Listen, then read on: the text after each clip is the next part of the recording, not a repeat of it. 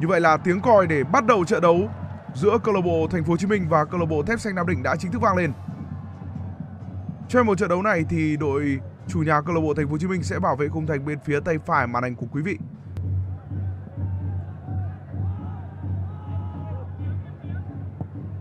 Định đến lại là Rafaelson. Bằng một cách nào đó Rafaelson luôn có thể chạm bóng vào dứt điểm. Câu lạc bộ Thành phố Hồ Chí Minh vẫn ngăn cản được các chân sút áo xanh có thể tung ra được những pha dứt điểm nguy hiểm và đây là một thời cơ dành cho họ. Văn Kiên đưa bóng sang cánh phải.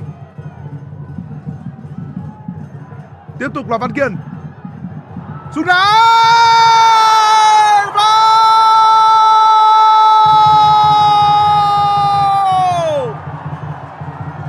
Câu lạc bộ Thành phố Hồ Chí Minh có được bàn thắng ngay trong cú đá đầu tiên. Khoảng trống dành cho câu lạc bộ Thép Xanh Nam Định. Rafaelson đối đầu với Brandon Lucas. Khoảng không gian hiếm hoi, Rafaelson. Chuyền bóng Henrio. Cú đá tiếp theo. Có lỗi việt vị mất rồi. Các Ngọc đánh đâu Rafaelson Rafaelson là người đã cân bằng tỷ số dành cho câu lạc bộ Thép Xanh Nam Định Hãy nhìn vào phản ứng của Rafaelson để hiểu rằng anh và các cổ động viên của Thép Xanh Nam Định đã phải đối diện với những áp lực như thế nào.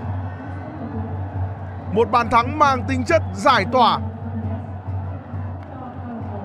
Họ đã phải đối diện với một hàng phòng ngự được tổ chức quá chặt chẽ. Phút thi đấu thứ 88.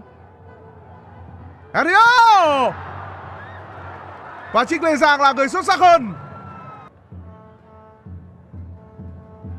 Văn Toàn.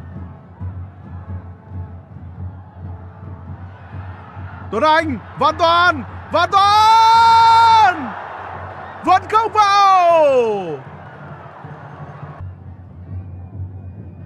Các cổ động viên đội bóng Thành Nam đang rất chờ đợi vào tình huống này. Sút ngay, Làm gì? Vẫn không vào!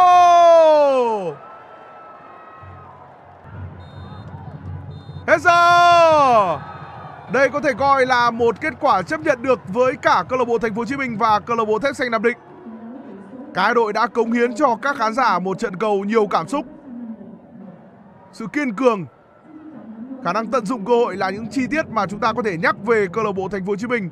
Họ đã phòng ngự tốt, ấn tượng ở trong trận đấu này. Và dù vẫn để cho Rafaelson ghi bàn nhưng đó cũng chỉ là bàn thắng để giúp cho đội bóng đang đứng đỉnh bảng có được một điểm thôi. Trải nghiệm thế giới thể thao không giới hạn cùng FPT Play.